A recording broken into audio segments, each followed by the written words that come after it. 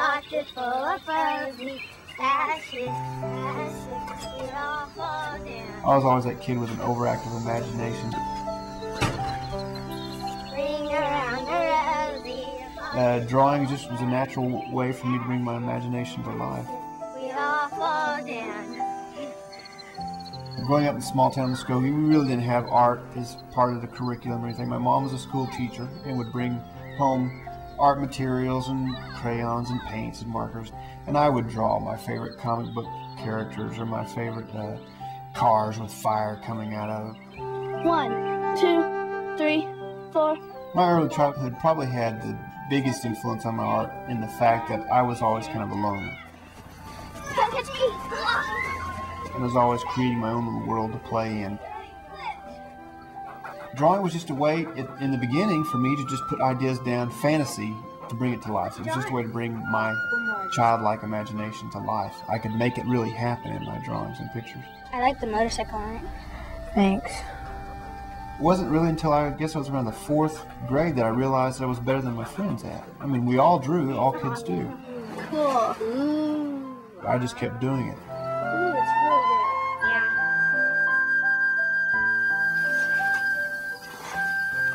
I read a lot. My mom, being a school teacher, taught me how to read at a very early age, and probably one of the best lessons I ever learned.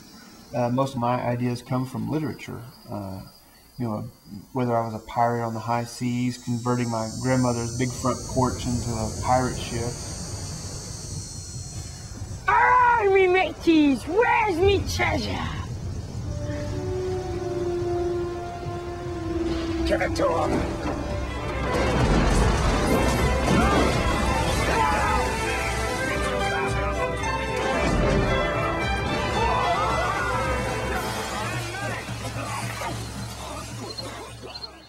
My influence, my art influence came from those children's books I read growing up as a kid, illustrated by N.C. Wyeth and Howard Pyle, The Saturday Evening Post by Norman Rockwell.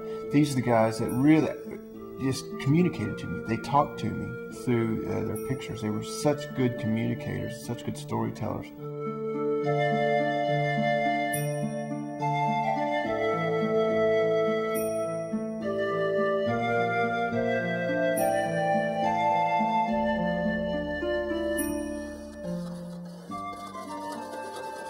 Our mighty, where's a treasure?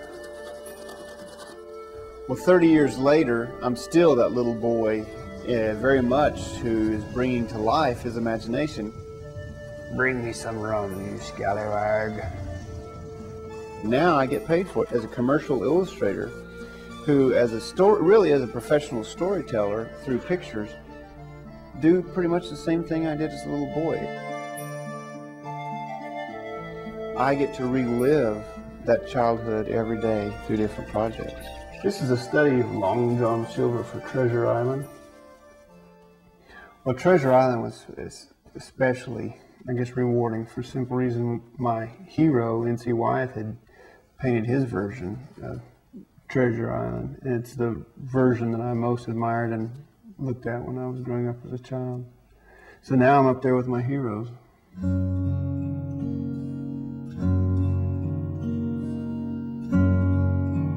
Throughout my career, I've had the opportunity to paint all kinds of different projects. Another one of my favorites. Of course, everybody's favorite, every kid's favorite in our generation. Grew up watching The Wizard of Oz every year. Got to create my own Tin Man. You can see his little tattoo right there on his arm. It says Mother, his heart. Have Tom Sawyer, finding daydreaming about Becky and Tom, doing a little fishing at the time.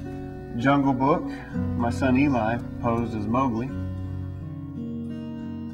I guess my career uh, covers a wide range, and a lot of that's because growing up poor, always afraid of being poor, that I, I've developed what I call a kind of puddle philosophy in my art career. I have a portrait puddle where I paint portraits, and I have a children's book puddle where I illustrate children's books, and I have adult books where I do adult book covers and romance novels, and I do advertising puddle where I paint Huggies diapers, and then I have uh, my own personal puddle as an artist to create the images I really want to paint, so that if any one puddle dries up, at least I have something else to go to.